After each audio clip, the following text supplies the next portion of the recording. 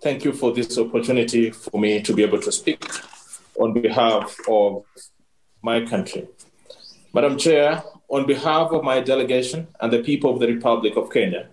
I wish to take this opportunity to congratulate you, Madam Chair, on your election as Chair of the Sixth World Telecommunication Policy Forum and for the able stewardship you have demonstrated so far. I also wish to commend the ITU for the great con- coordination of this forum and for all its efforts in managing and coordinating the global ICT networks and services. The Republic of Kenya is proud to participate in this forum, which provides member states with an opportunity to share experiences on ongoing policy approaches to foster the development of ICTs in the realization of sustainable development goals. This forum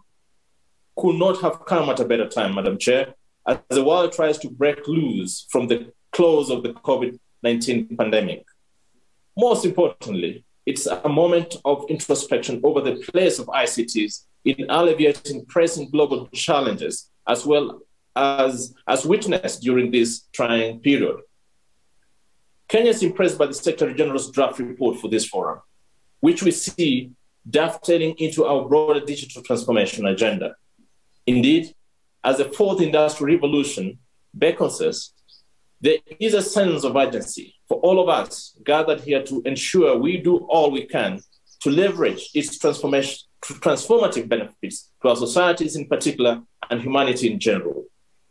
But to be able to do so, Madam Chair, we must ensure that our people have the necessary access to diverse services, possess requisite skills, and know how to manipulate ICTs for their own good. Kenya continues to take deliberate steps to ensure its citizens derive value from ICT so that they lead meaningful lives while solving everyday challenges.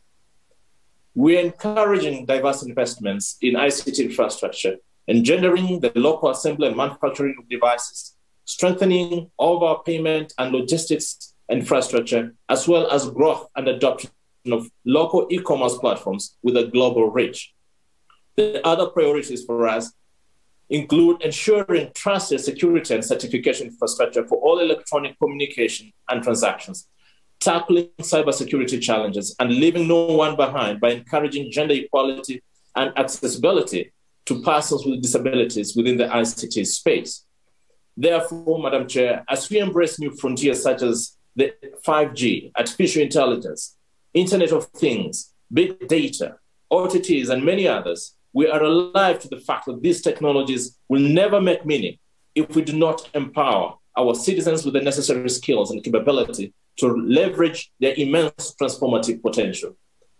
It is no mean task, but if we remain united in purpose and work together, we can create a truly integrated global ICT ecosystem that will, that will drive economies, enrich lives, and close digital gaps in line with the sustainable development goals. Finally, Madam Chair, and Your Excellencies, ladies and gentlemen, I wish to take this opportunity to inform you that the government of the Republic of Kenya offers her candidature for re-election to the ITU Council under Region D, and therefore seeks the favorable support of member states during the upcoming ITU Plenipotentiary Conference scheduled to take place from 26th September to 14th October 2022 in Bucharest, Romania. Let me take this opportunity, Madam Chair, to wish this forum successful deliberations. Thank you very much for your attention.